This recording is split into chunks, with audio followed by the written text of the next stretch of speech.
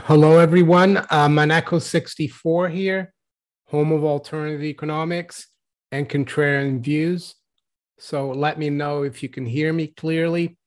Uh, the title of the live stream today is A Time of Extraordinary Popular Economic, Social, and po- Political Delusions. And I'm going to reference uh, this book here. Uh, it's a classic.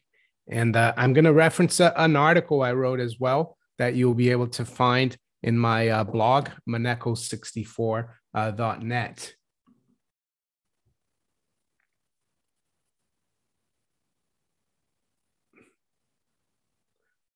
Uh, just let me know if you, oh, sound is good. Great. Thank you. Uh, Tim Goodson, do you have any physical platinum? No, I don't have any platinum. I know it is not a historical monetary metal, but it derives value from its scarcity unique properties. I, I, I think platinum will do well, uh, especially with the flow into tangible assets and commodities. Uh, yeah, I don't have it. Uh, I I uh, stick with uh, the uh, traditional gold and silver. I, I, saw a question here, um, Benjamin Mail. What good will our physical gold and silver be in a cashless society? I do worry about that.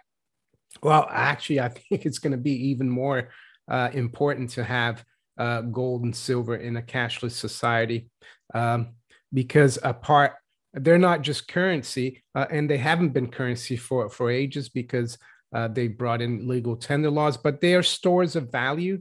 Uh, and I would say that right now we, we're pretty much cashless and, and gold and silver.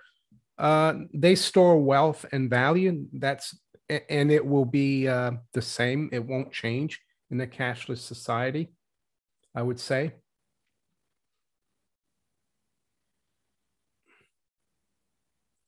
Ben Gray, uh, everyone Southware is reporting into. uh, Dilwyn is here. Yeah, I saw Dilwyn Roberts, I think. Yeah. Catman 7734, season's greeting from County Durham. Season's greeting to you too. Lord Humongous is here. Thank you, Lord Humongous, for the sound check.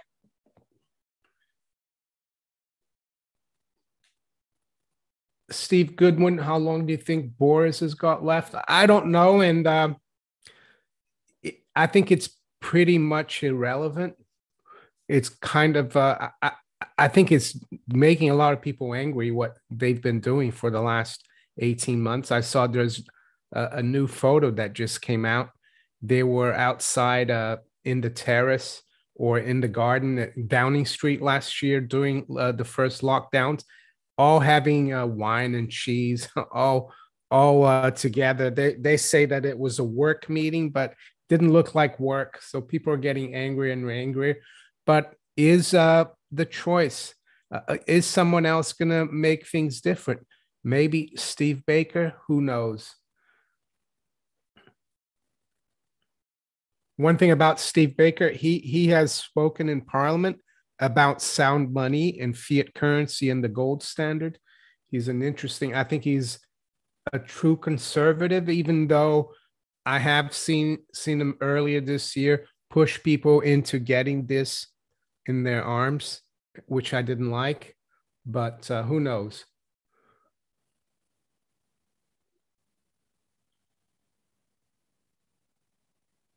Juan Crespo says Boris is just a pawn. Yeah, I, I think uh, we are all pawns in the game, so to speak, not just Boris. Richard Martin, aloha Mari. I just watched your interview with Elijah K. Johnson. Yeah, he interviewed me last week, and uh, I uh, I published it uh, on my channel uh, this morning. So it, it's not an old interview, but it's recent. Billy does love that couch. Um, yeah.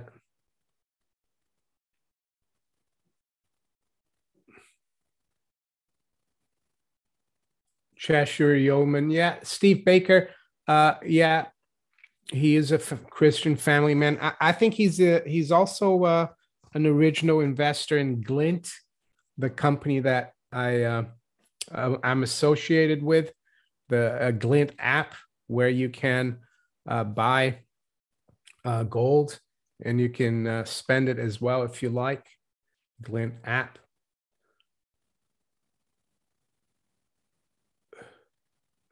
One guy that I think is good, uh, MP, is uh, Desmond Swayne. He's very good, but I don't think he'll uh, be in the running for uh, leader of the Conservative Party. MM No bought a five pound UK sovereign, regular sovereign last week, made out like a bandit. My local coin shop is very low on gold. Uh, uh five pound sovereign. Uh, yeah, that's um. I don't have uh, one of those. Uh, anyway, that's those are nice coins. Uh, there's only one way. Thank you for your super chat. Are you scared that government going after unvaccinated? what would you say for people who are uh yeah i mean the problem right now is that even people who are who have been they're going after them if you don't have the right amount. Uh, i think uh under common law they they can't force you to do anything. Of course they're going to try to uh, uh, go after you in in another way eh, make your life difficult. I think they'll try to do that. But who knows? If we do get a change in a leadership of the Conservative Party and we get someone like Steve Baker, that could change. And I saw as well that uh, the um, Build Back Better uh, plan is uh, being basically, yeah, it's not even going to start because a senator from West Virginia said he's not going to, he's a Democrat, he's not going to vote for it. So that could that is encouraging because Build Back Better is not an American uh, policy; it's a policy from Davos, the World Economic Forum. So hopefully, all this uh, globalist Bill Gates, Fauci, uh, WHO, uh, World Economic Forum uh, thing is all unraveling. I, I, certainly hope so, but we'll, we'll have to see. Uh, I'm fortunate that, uh, yeah, but I, I, know what you mean. Uh, there's only one way. It is worrying and uh, it's not good. Uh, Lord Humongous, yeah, political parties uh, put people in in straitjackets. I, think it was George Washington who advised uh, against political parties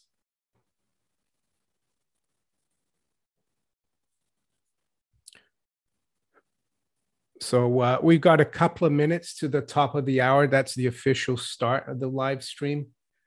And thank you again uh, there. There's only one way for your uh, generosity.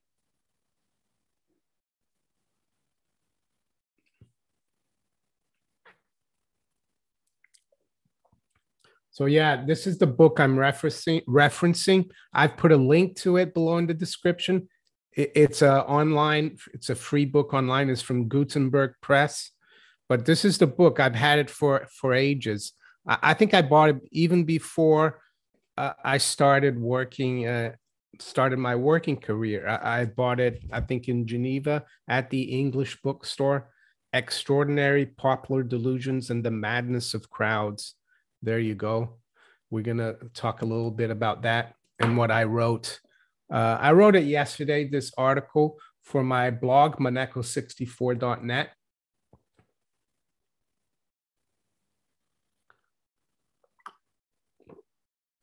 I've got my uh, NDECB mug with uh, Christine Lagarde behind bars, because that's where she should be, really. She was convicted, convicted of a crime in France in 2017, and they suspended her sentence and then they she went back to work for the IMF and then became the president of the ECB. Makes sense, right? Criminal running a central bank.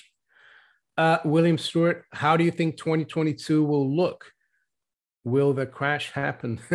well, we had a crash in uh, 2020. We didn't have one in 2022. Uh, I don't know. I, think it's going to be pretty turbulent the first half of the year. I, I, I have no idea really uh, uh, if there will be a crash, but we could have a big correction in the stock market. Who knows? Uh, I think um, the economies are going to slow down again, and they're going to have to find excuses to to spend more. We'll have to see. At least here in Europe and in the UK, they're already talking about that. Uh, Tim Goodson, do you think the silver squeeze sped up the rollout uh, of the globalist agenda? Seems like they have a bit of pep in their step. Uh, I I wouldn't go as far as saying that the uh, silver squeeze did that. I don't know. I don't know because uh, you know the uh, agenda really started being rolled out early last year, and the silver squeeze only started um, February this year, late January, February. Uh, Patrick Gelbka, thank you for your super chat. I strongly believe that a super short squeeze this month will wipe out the short, especially against GameStop and AMC. Bye bye, hedge funds. Okay, so uh, I'm gonna share the article that I wrote uh, for my blog, and I might I'll go through it. I'll go through it. It's not very long. It's 1,200 words, and uh, it's uh, related. I referenced kind of this book because this is not ju- just about the, let's say, the uh, tulip mania, the uh, South Sea bubble, and the Mississippi bubble in France. It's also about. It's not just about finance and markets. It's about how people go crazy. And I think, uh, as you can see here, I entitled this uh, article. I, I thought about enti- entitling this live stream as same as the article, but I thought I might it could get in trouble. So it's extraordinary popular COVID 19 delusions and the madness of crowds. Uh, I took this from the Wikipedia page. This is a public domain uh, picture from that time. You can see uh, one of the uh, delusions, popular delusions. So I'll go through the book here a little bit it wasn't, as I said, it wasn't just about markets, but Charles Mackay. Uh, let's see, I'll tell you what he's covered. He'll, so he covered the Mississippi scheme, the South Sea bubble, the tulipomania, the alchemists. So I would say the alchemists are today's modelers, right? For SAGE, they are the alchemists. Uh, modern prophecies, fortune telling, the magnetizers, the influence of politics and religion on the hair and beard, the crusaders, the witch hunts or witch mania, um, haunted houses, popular follies of great cities. So, yeah, I personally think people are going crazy and they're deluded and mad with what's going on. So, this is what I wrote. Um, in 1841, Charles Mackay's Memoirs of Extraordinary Popular Delusions was first published, and 180 years later, we should probably refer back to its to it as there is much to learn from it as far as the reaction to the COVID-19 is concerned. Aside from covering some of the major financial bubbles like John Law's Mississippi scheme, South Sea bubble, and the Dutch tulipomania, Mackay also wrote about alchemists, fortune tellers, the rich manias or hunt, which which manias or, or hunts. So, what does Mackay's book have to do with COVID 19? You might ask. I'll be trying to show why, in my opinion, many governments and the public have gone over the top or mad their reaction to a virus. And uh, I'm not going to go through the whole article. I, I, put a link below in the description of this video and uh, I will uh, let you read it there if you want. But I'll, I'll just go over this comparison here. Uh, I compared uh, what hap- what what's been happening in Sweden and the UK because Sweden, uh, as you can see here, now I would like to touch upon Sweden as this country decided not to adopt lockdown measures and its economy was left largely unscathed to give PM uh, Boris Johnson some credit. I do remember him saying he wanted to go down the road, uh, the same road as Sweden, but he didn't, right? So this is uh, the conclusion I've come up to. So after over one year, decided to look at what happened in Sweden in terms of COVID 19 and compare it to what happened here in the UK. As of December 18th, or yesterday, uh, Sweden, a country of 10.35 million people, has had 1.25 million cases and 15,231 uh, deaths. The population of the UK is 6.49 times uh, greater than that of Sweden at 67.222 million. Uh, so yeah, Sweden has a population of 10.35 million, as you can see here. Uh, so you use that uh, multiplier, right? The 6.49. And uh, what it shows you is that um,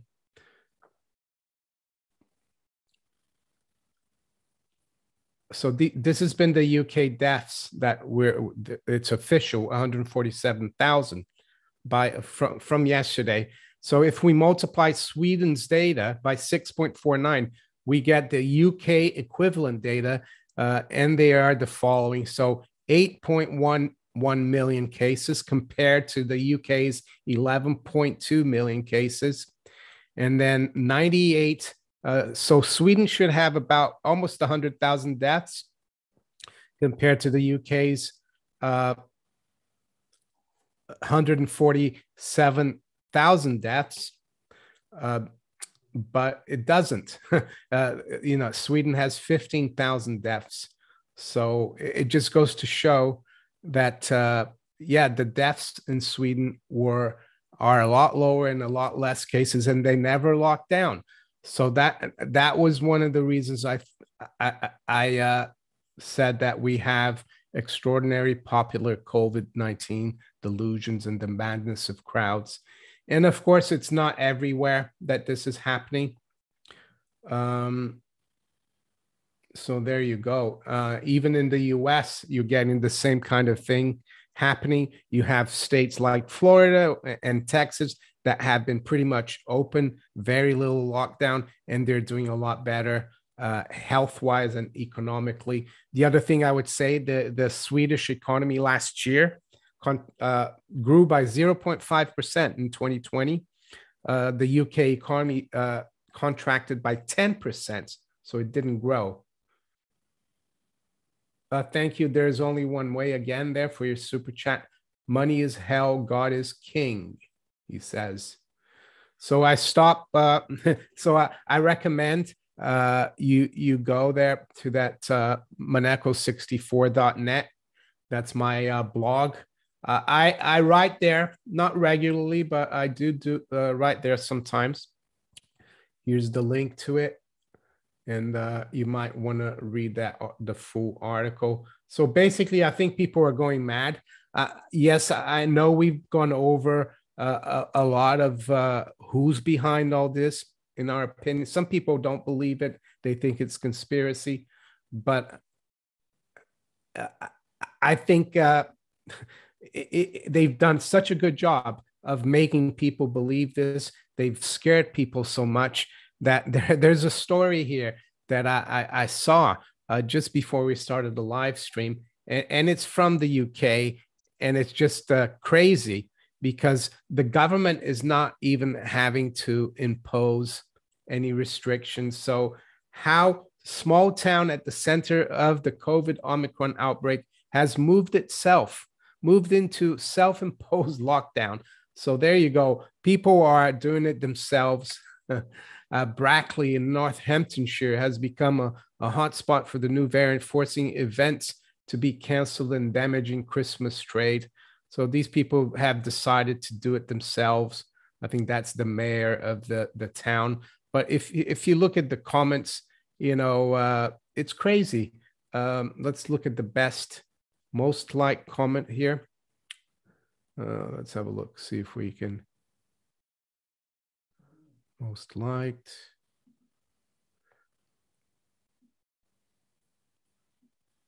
Anyway, I've gone through some of the comments And uh, what they're saying is that they haven't even had too many hospitalizations in this place. They haven't had any deaths, but they're locking down. So they scared them so, so, so much. And I think that shows more and more a delusion, delusion and madness from the people.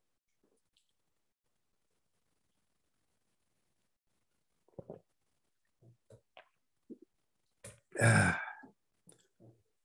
Pina, we should have some enlightenment classes on the Amish and Mennonites, how they are not 100% dependent on technology to the point of slavery.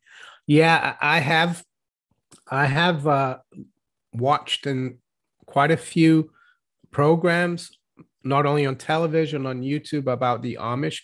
They're very interesting people, and uh, yeah, they've been. I think they left Switzerland or that part of the world back in the 1600s. A lot of them went to North America, some went elsewhere, and they are very uh, set in their ways. They're very uh, religious. They're very uh, they are agricultural. They're farming farming people.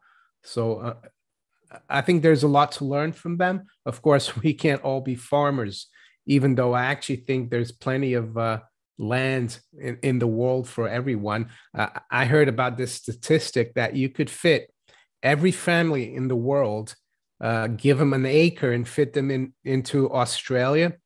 And yes, Australia I know is mostly desert, but it's just to give you an idea of how big the planet is and how much space there is. So you could fit every family on, on the planet and give them one acre uh, each in Australia, and the rest of the planet would be empty. War, war, war, stand up and fight says there's only one way. Thank you for your super chat again.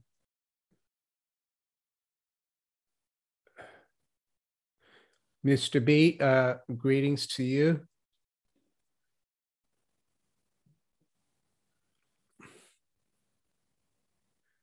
James Mayo from Staten Island. Hi, James. George Assad. Good day, George.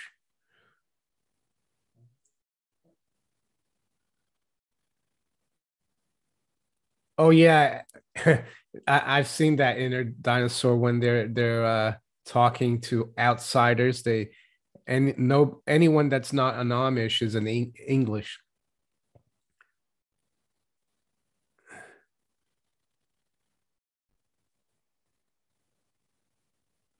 Uh, Kira Barsmith, RFK's junior book about Fauci gives me hope. Yeah, I ordered pre-ordered that book. I haven't received it yet here in the UK.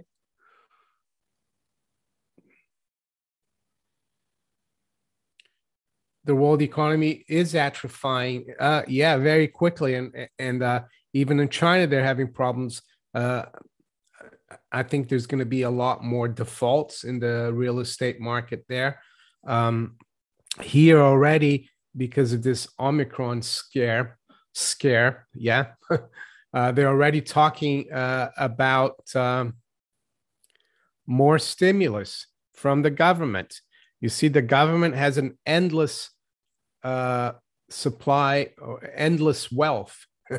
Not, but uh, we're going to be paying for this, of course. He is in the Mail Online. Chancellor considers bailout package for hospitality sector hit by unofficial lockdown. Rishi Sunak weighs up VAT cut and cash boost for ailing pubs and restaurants after jetting back to UK from long planned California break. So, yeah, they're already talking about it. Uh, the other thing I would say here in the UK, the uh, there's a kind of a deferment. Uh, commercial property tenants haven't had to pay rent since last year, and they're going to have to start doing it again at the end of March next year. That could be put forward again, delayed. Uh, yeah. The Great Reset is only days away. Uh, we'll see. I, I, don't know because we have we've had some uh, Lord Humongous moronic variant. Yeah, I, I know, but a lot of people are falling for it, unfortunately uh, as far as the Great Reset, we could have a Great Reset, but is it going to be Klaus Schwab's great reset because uh, I think a spanner has been put in the in the works uh, here because this is what I've heard today. The news: Joe Manchin uh, says he will vote against Biden's spending bill, which is basically um, Klaus Schwab's uh, Build Back Better program. So that's 1.75 trillion social uh, spending bill, the Build Back Better plan, and um, yeah, th- this this is probably worrying for the globalists. This puts a, a nail in the coffin also of uh, the COP26 crowd, you know, the climate change uh, people. Uh, here it go. It says it, it, it would also have big international ramifications uh, since a number of provisions are key to meeting America's goals laid out at COP26 climate talks, as well as negotiations at the OECD for an overhaul of the global corporate tax regime. So I think this is encouraging news, uh, even though I wouldn't hold my breath. and some people might say, "Well, that's a, that's encouraging that at least uh, uh, Democrats, because he's a Democrat, are starting to realize that inflation is a problem." Uh, believe me, um, inflation is is not going to go away. The rising prices. We've had inflation for 40 years, and it's starting to seep through uh, into where politicians hate it, in, into consumers' pockets which is not good, of course. Uh, Echo Echo says his rent went up from 850 to 900. Yeah, unfortunately, I, I think uh, what we're going to get, and I think Jim Sinclair and Bill Holter spoke about that, not recently, but maybe a year or so ago. Uh, yes, we could get a deflationary uh, environment in terms of the the economy but in terms of everything we need like shelter food energy transportation uh, the currency is going to go down the tubes just like in in turkey and in lebanon and other countries. And we're going to be stuck um yeah with the with massive bills unfortunately uh just to uh, get by the wealthy, of course, won't feel it as bad because um, basic necessities are a small percentage of their wealth and income. Uh, Cheshire Yeoman says Star Path is in the house. Nice to nice to know that Star Path is here. Happy Sunday to you, Belly Dance, Rabia or Rabia. Yeah, Georgia Assad, natural gas rates are the highest, they're all time highs in Europe and in the UK. US natural gas has come off, but in Europe, things are really bad. They're still really high.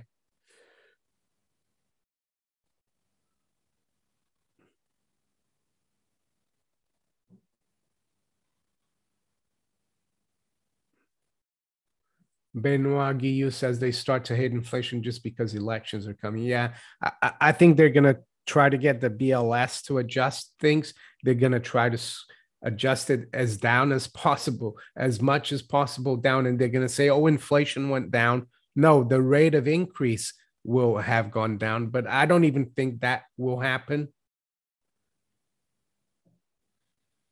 Pablo Pina, a reason for UK, uh, for Ukraine versus Russia escalation. I, I don't think there's any escalation uh, between Russia and the Ukraine. Uh, it's more of a manufactured crisis by the West, and I think that uh, Russia, Russia is just concerned that uh, NATO is going to put its troops in the Ukraine, uh, which is right next to to Russia. Uh, but personally, there is a province, eastern Ukraine called Donbass, a small region there, which is basically they've been at war for years over there. Uh, but I, I, I, don't really. I, I think, uh, yeah, I think it's just uh, more Western propaganda trying to put a bad spotlight on Putin and also in China. And I, and am I defending China and, and uh, Russia? No, I'm just saying that yeah, they're not any better, but uh, our politicians and our systems are not any better than they are, in my opinion. Uh, and they've shown that in spades in the last two years. Just look at what they're doing in Australia. How come there isn't any um, uh, con- condemnation of what they're doing in Australia? I, I, don't see it in the West, but there's con- condemnation of what uh, supposedly the Russians and the Chinese are doing. Uh, music love forever. Did you see the CIA uh, asset Rickards uh, was on Stansberry saying inflation has already peaked. Uh, I saw that. I'm not sure how he he knows that because he's he he's been saying there wasn't going to be any inflation because there was no money velocity, and he's been proven completely wrong. And uh, I'm not having a dig at him or anything. I've interviewed him before on my channel, but uh, I just think he gets the terminology wrong. And I think, as I said earlier, we're going to get what Jim Sinclair said. We're going to get deflationary collapse in terms of the economy, and a lot of businesses are going to fail. But the central banks and governments are, are going to keep that printing press going because they can. Uh, government will just become even bigger to uh, just to keep things going, and we're going to end up like Lebanon and Turkey, where um, yeah, the currency is going to become worth less and less and eventually worthless. so, um, yeah, I don't agree with uh, Jim Rickards on that on that note.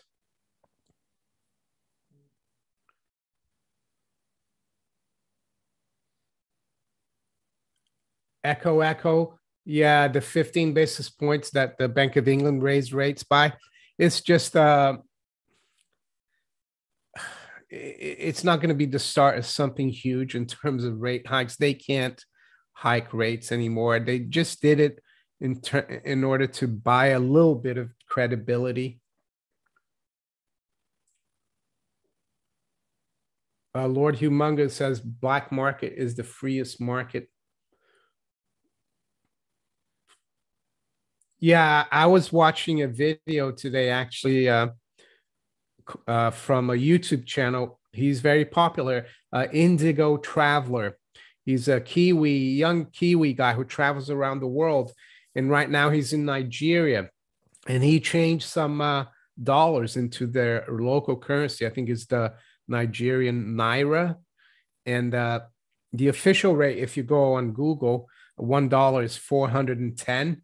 Uh, but in the black market, like you can sell your dollars anywhere on the street there, you get 520, you get 27% more. It, it, it's like uh, the official price, really.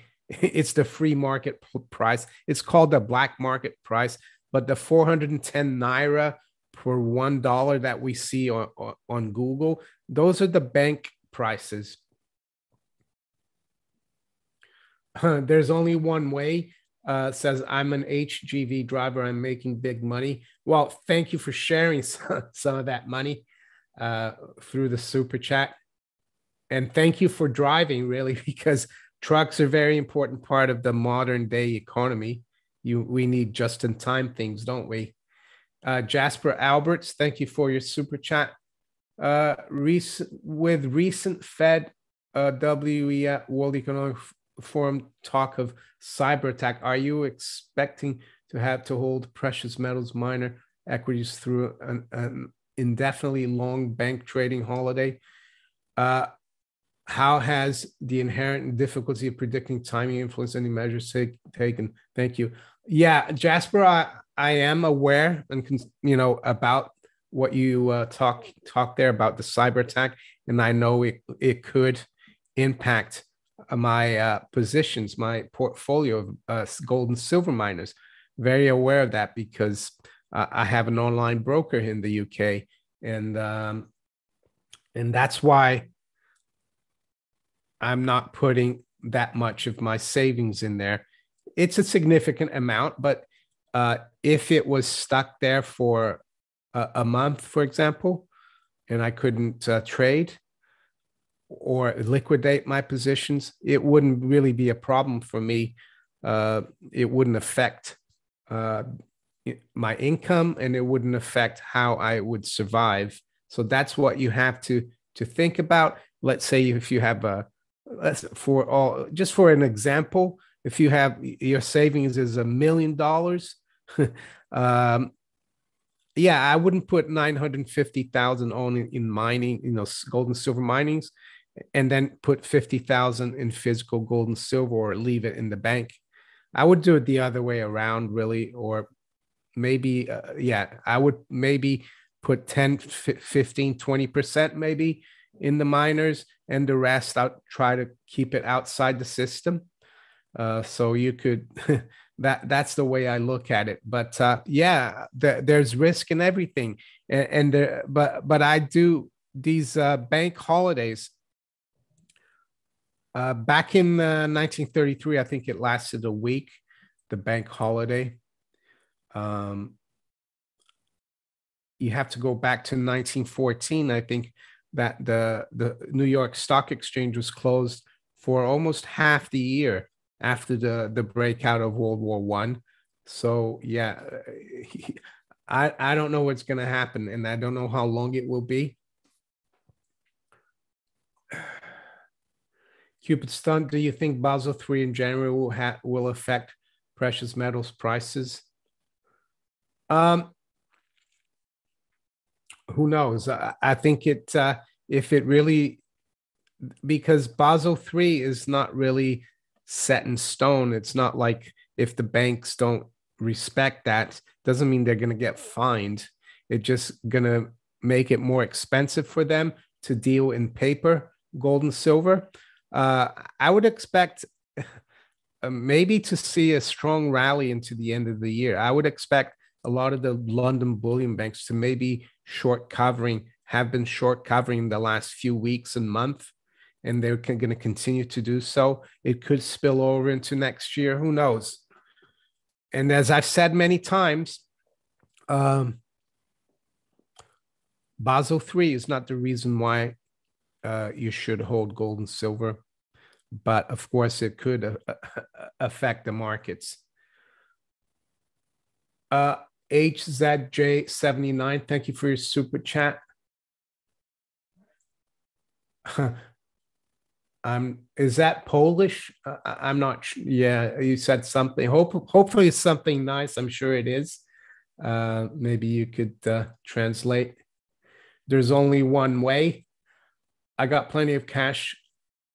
I got gold, Bitcoin, and silver, but when the economy comes to crash, watch out. Lily Robbins says they should just put a million dollars in everyone's bank account and be done with. Yeah, and then you'll be able to buy a, a coffee with a hundred thousand. A million will be nothing if everyone has it. I know, I know you're being sarcastic, uh, Lily. uh, Robert, Robert, when will the big reset come? I, I, I don't know. and it doesn't really matter because if you've been prepared, if you were preparing for it, it shouldn't really make any difference. And uh, the way to prepare for it, in my opinion, is to try to be as much as you can outside the financial system, not have too much exposure to it.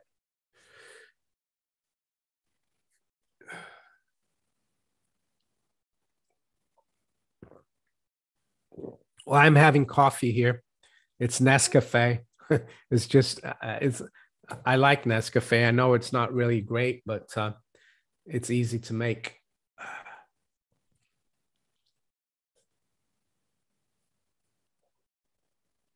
Um, I've got a few more things here.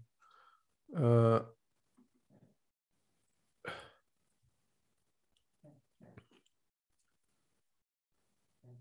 yeah, there's a guy here. He used to be an MP, and I think he he lost the the last election. But he's also a writer for the Telegraph, Daniel Hannan. He says, We know that lockdown is a social and economic disaster. Please, Boris, don't do it again. So Uh, he's come to the same conclusion that I have, uh, comparing the UK to Sweden. Um, uh, if you've come late to the live stream, uh, I, I uh, put a link to a store to an article I wrote uh, on my blog, which is called Maneco64.net. And in that article, I compare what's happened to Sweden uh, in the last uh, 18 months and what's happened here in the UK. And uh, yeah, without the lockdown, Sweden has done a lot better. It's had relative terms a lot less deaths, and it's had a, a lot. Uh, you know, it's last year their GDP actually grew, and our GDP fell by ten percent. Uh, Dylan Roberts, uh, yeah, the Christmas tree. We put up the Christmas tree this uh, this weekend, but it's in the living room uh, hopefully Billy and I are going to be uh, uh, making our video uh, tomorrow from there, and you'll be seeing the the Christmas tree. This is the study, so we never put any Christmas decoration here.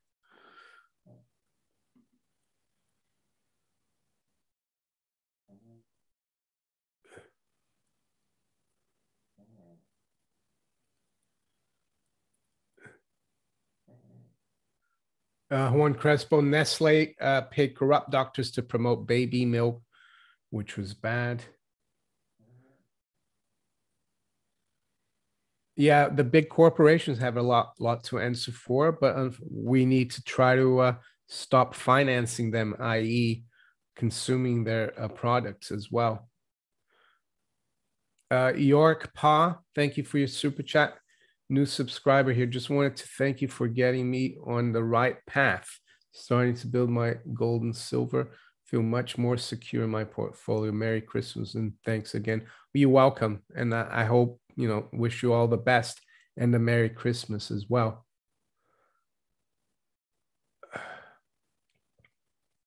Chris March says the problem is holding uh, fiat for the bills. It keeps running out.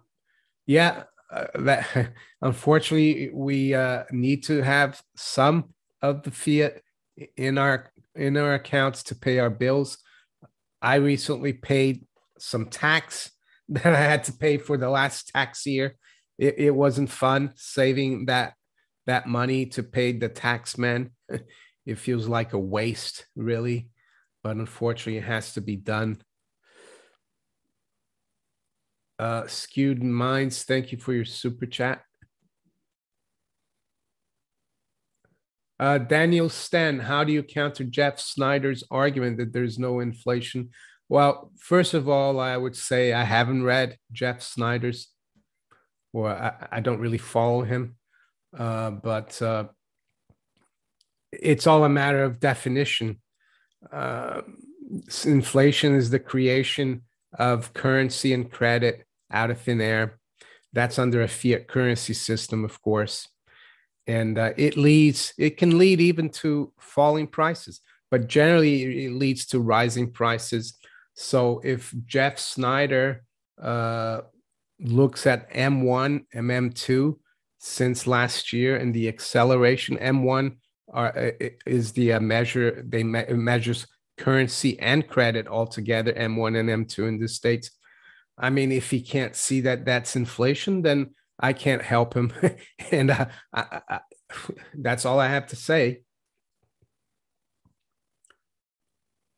And even if you define inflation as CPI, um, can he, which I don't, can he explain the seven or 6.8% uh, rise in CPI in the last month, year on year? Can he explain PPI, uh, rising at 10%. Uh, that that if that's his definition of inflation, how can he say it isn't? And, and even if you use my definition, which is the increase in currency and credit uh, out of thin air, which we've had, uh, I, I don't know what to say to him. Um, anyway,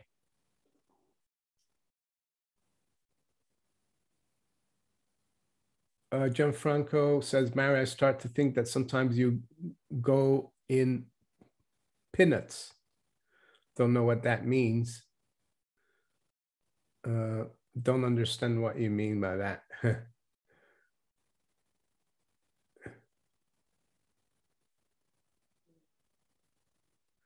Carlo Iaboni says Jeff says that inflation is all about economic activity, and the pandemic did not increase economic activity.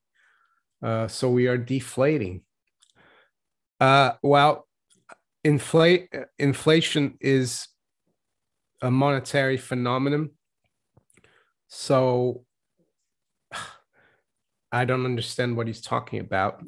Maybe he should look at GDP. Uh, if you uh, GDP, I spoke about that in the Mike and Mario show uh, recently. If you look at the uh, equation for GDP, it adds uh, private expenditures, uh, investments, it adds exports minus imports, so the net net there.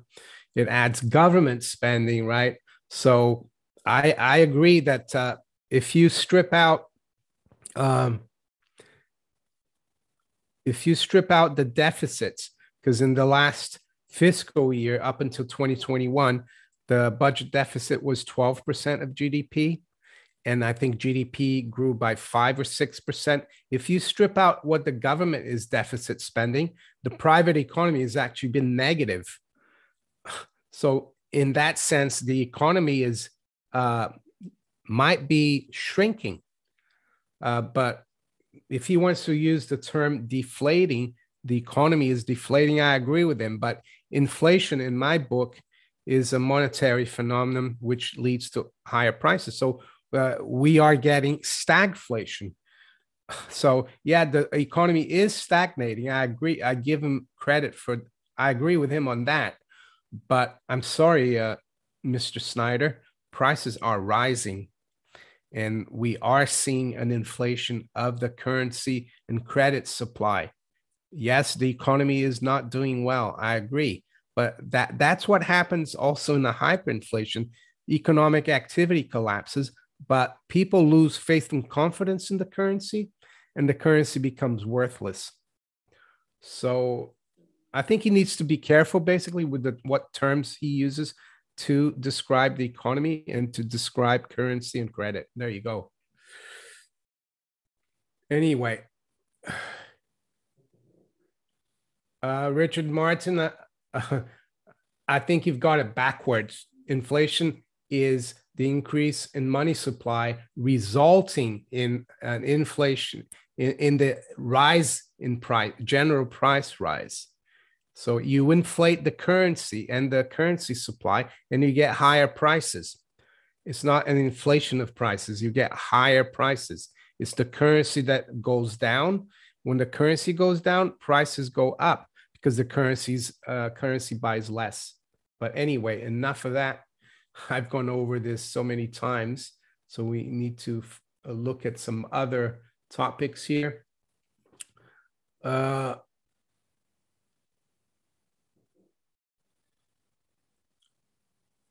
Alan Ross says inflation rate is more than 15%.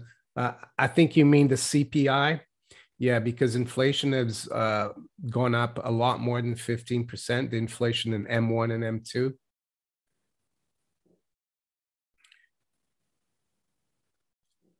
Uh, Richard Miner says I should watch Jeff Snider. Uh, maybe, I, I don't know.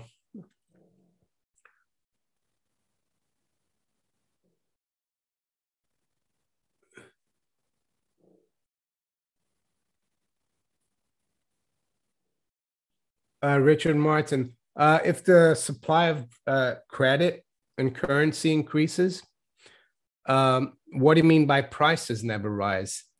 Uh, there are uh, uh, there's always things that will rise more than others, and you're going to have prices of things that also drop.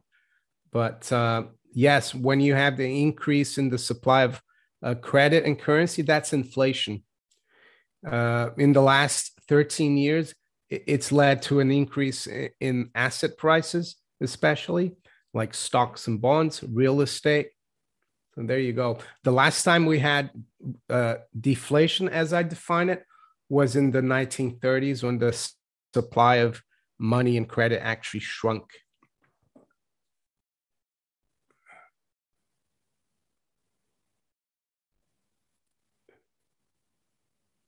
Uh, Gianfranco, when you invite your good friend and brother Rafi. Yeah, I was on his channel. I think it was last week or the week before.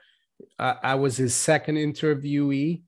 Uh, yeah, I will have Rafi on again. Don't know when. Soon.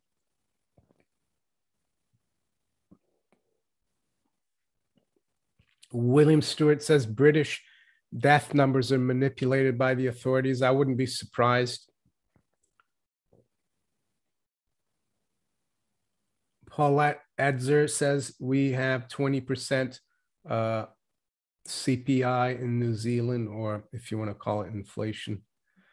I'm really particular about using that term. Um, yeah, you're getting the consequence of inflation, Paulette, and those are higher prices. Uh, could you, Mark, Richard, Mike, could you look at the chart of 10 year treasury since and tell me the 10 when the 10 year yield will rise? Well, I've looked at it many times. Uh, the 10 year yield, uh, do you mean the 10 year price or the yield? Uh, I personally think uh, we have a 40 year cycle. So I think to 2021 uh, or even last year was a low for yields. And now it's it's on its way up, but it's going to be a long time. It's it, we're in a bear market for bond prices. And um, the thing is, one of the reasons I think yields have dropped so much is because the central banks have been uh, creating a lot of reserves and they've been uh, injecting a lot of reserves into the banking system. And banks are using those reserves to buy bonds and artificially uh, inflate or in, artificially inflate the prices of bonds. And that makes yields look low. But uh, I think I know what you're trying to get because you're trying to say that um, the fact that yields are so low means that there's no inflation, but there is, you know, and, and, investors and savers are getting screwed. That's why uh, I get kind of wound up about people who say there is no inflation. And yes, the economies are not in, you know, growing, and I agree with them on that but uh, prices are rising.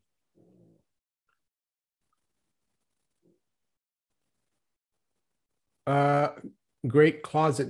Do the high silver premiums reflect in miners' profit margin? Not really, because unfortunately, uh, most of the miners sell to the uh, bullion banks, and the bullion banks don't pay uh, that uh, the premium. Uh, I, I think uh, First Majestic, they they they sell directly to the consumer. Uh, maybe they should start thinking about um, going around the bullion banks.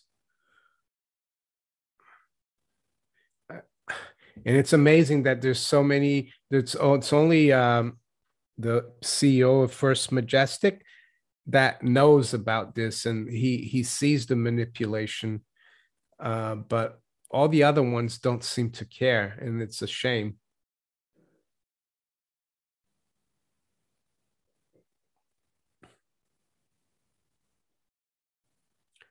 Alan Raw uh, says, I don't understand yields. Well, I'll, I'll, try to explain really quickly here.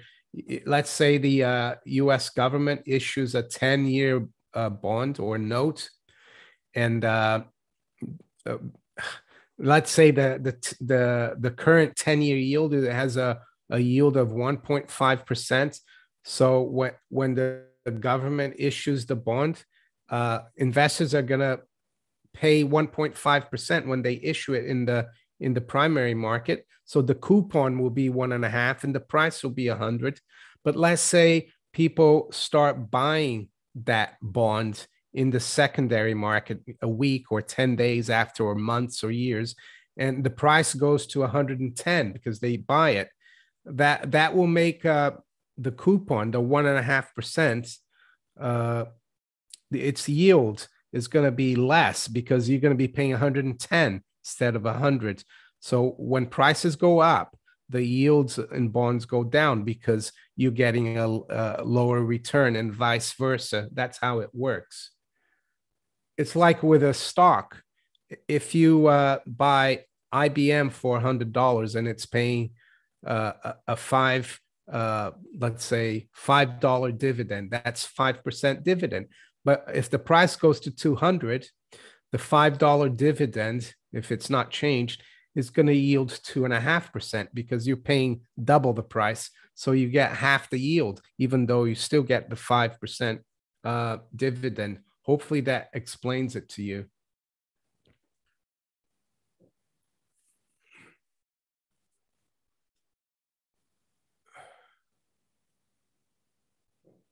Alan Oh, he's got it. That's good. So yeah, they it's like the dividend, they call it dividend yield, or you can call it a coupon yield for bonds. What's the real US unemployment? Uh, it's really hard to uh, ascertain exactly. I would say it's a lot higher than what we're told because uh, the un- current unemployment rate around 4.1%. It doesn't count people who have given up looking for a job. Uh, so there could be a lot of people out there who have completely given up, but if they don't claim for unemployment benefits, they're not counted. Uh, Benoit Guillou, how do you imagine the software implemented destruction of currency within CBDCs? How do you imagine the software implemented?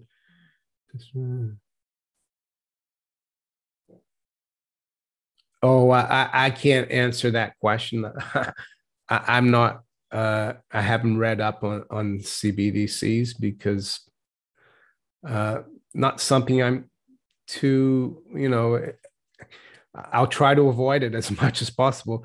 Just like I try to avoid fiat currencies, I'll try to avoid CBDCs. So I'm sorry, I, I can't tell you about the technology of CBDCs. Uh, Jasper Alberts, Alberts, uh, thank you for your super chat. Fewer younger men in this uh, environment, macro environment, do you think you would have the same ratio of bullion to miners, Ceteris paribus. um,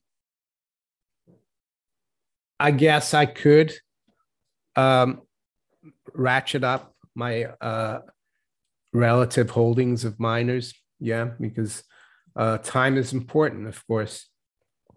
But one thing I would say about the miners is uh, don't be afraid to take your profits if it's really if it does really well because they're very cyclical. Those uh, the miners.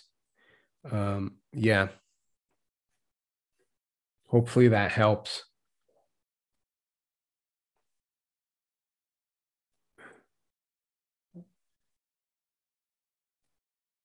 over here, I had ten thousand dollar check to cash. Uh, I asked for five thousand in twenties. The bank could only give me uh, two thousand in twenties. Navigate currency on hand.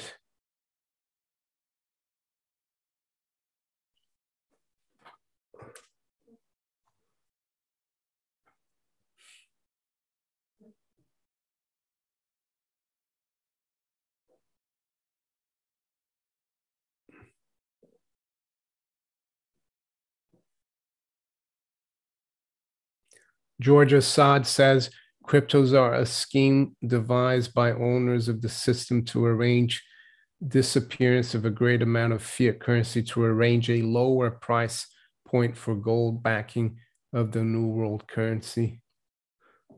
Uh, you could be right. Who knows? You Could be right.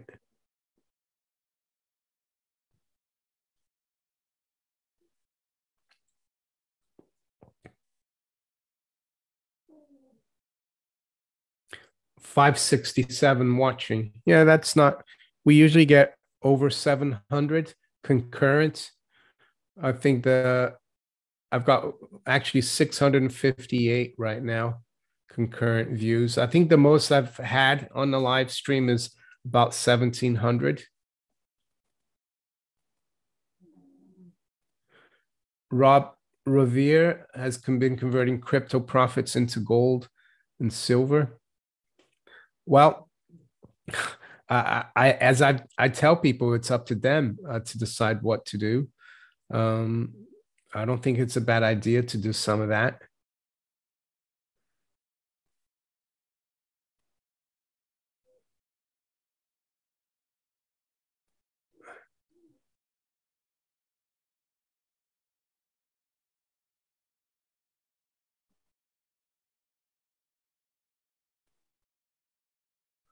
Connor Monnery, do you do you agree it's better to hold more gold than silver?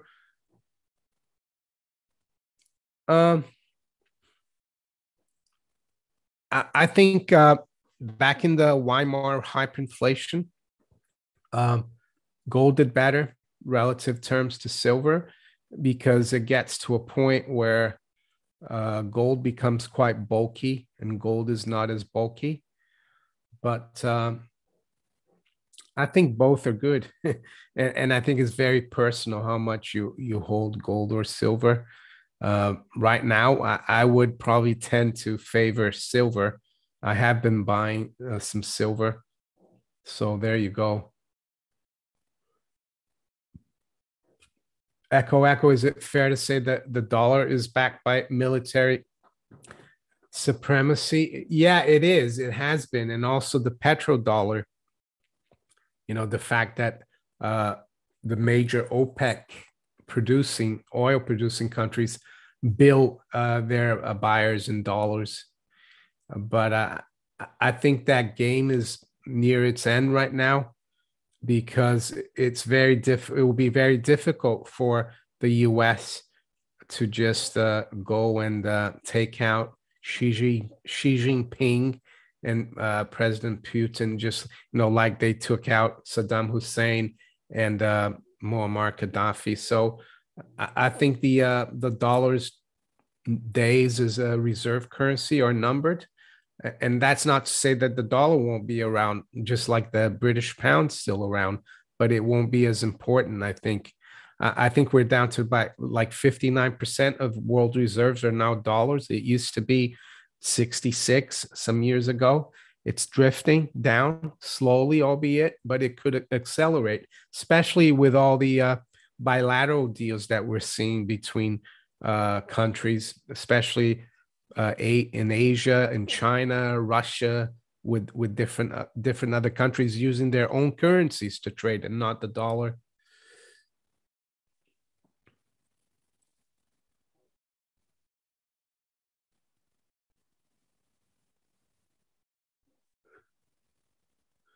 Gianfranco Bergana says, when you talk about natural gas, you don't know what you're saying. Natural gas is cheaper than oil. 75% are taxes. Um, maybe so, but the people still have to pay uh, the price, uh, Gianfranco. Um, so it's the same thing for uh, cigarettes in the UK. Even though I don't smoke, I know that 90% of the price of cigarettes are uh, taxes, but it's still going up the price because the taxes are going up. So um, maybe you should tell uh, this guy here. Let's see. I'm going to bring up, uh, he's very good. He, there we go. This is why I was saying that. Uh, hold on. Uh, let's bring him up. So there we go. So here we go. European energy crisis. Wow, wow, wow. So this is the guy who covers the energy market and chief energy correspondent at Bloomberg News. 141,000 followers. He says, I'm running out of words to describe the European short-term electricity market. Um, yes, that's what I, I was talking about natural gas, but I was talking about energy in general and look at European electricity. Multiple records breached on Monday for Monday, with the exception of Poland and Scandinavia.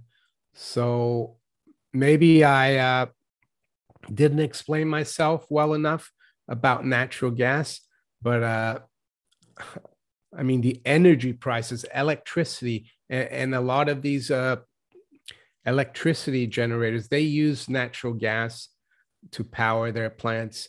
So there is a problem there.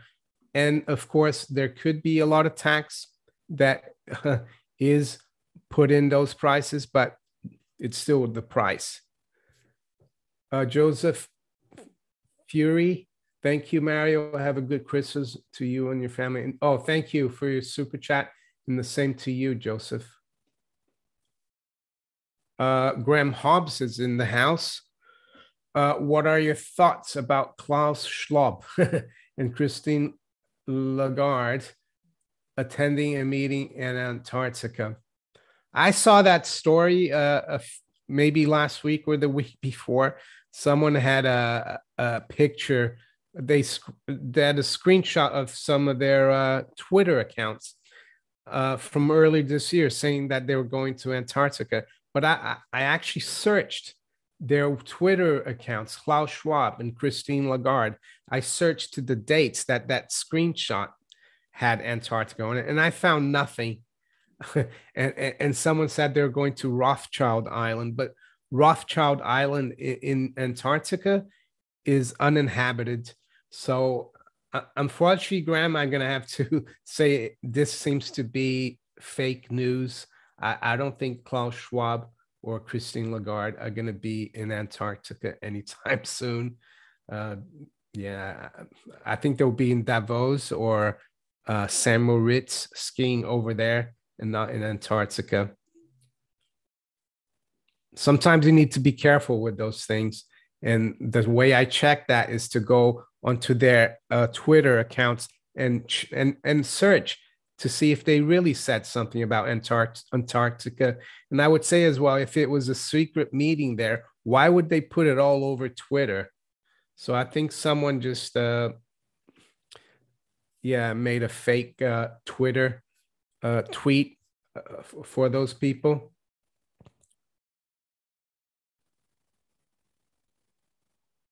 I hope that helps. But I did hear that uh, what's his name? He was the uh, Secretary of State. Uh, what was his name under Obama? John Kerry. Apparently, the day of the uh, election in 20, 2016, uh, yeah, the day after, or he he he went to Antarctica. Uh, John Kerry. I don't know why he went there but uh, there is something going on there. But I don't think Lagarde or um, Schwab are going there. I could be wrong.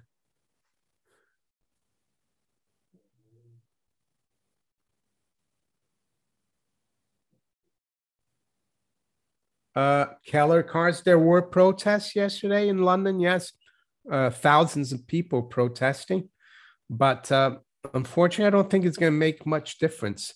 It looks like they want to lock us down again for Christmas.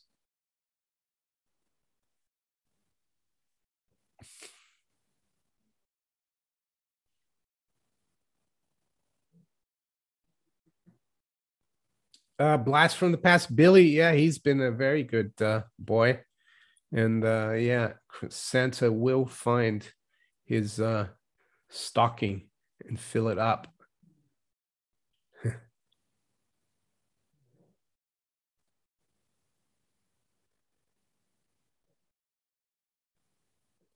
All right, I'll take a couple more questions. It's almost time. Uh,